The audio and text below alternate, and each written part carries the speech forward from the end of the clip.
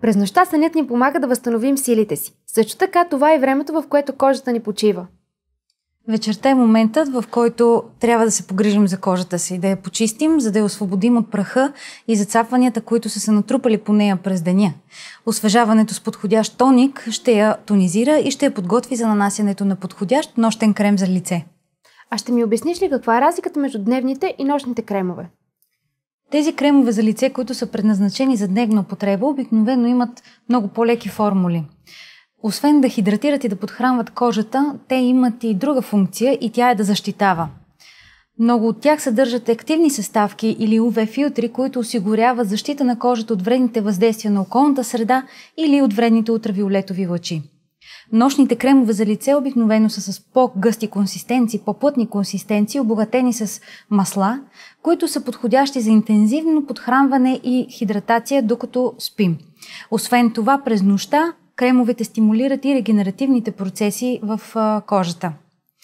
А, например, докато спим, кожата се отпуска и много по-добре абсорбира активните съставки от кремовете за лице. Това ускорява клетъчното обновяване, подобрява еластичността на кожата и забавя процесите на стареене. А какви са кремовете, които си не донесла днес?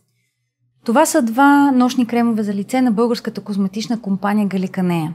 Те са разработени с а, органични растителни масла и са, както виждаш, опаковани в красиви дървени котии, а, надписани с дърворезба. Да, много са красиви, дори си имат сертификат за качество. Това е една сертификат, който а, удостоверява, че продуктът е произведен съгласно европейските регламенти и а, съдържа 100% органични суровини. А най-хубавото е, че можем да си използваме котийката за мъничките неща, които винаги губим. Точно така.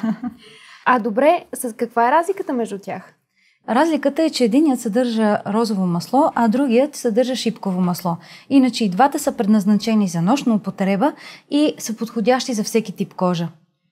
Разкажи ми тогава малко повече за маслата.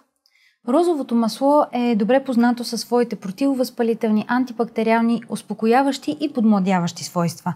А, то повлиява изключително добре при наличието на кожни възпаления, дерматити, акне, а освен това е и отлично средство срещу белези и спукани капиляри.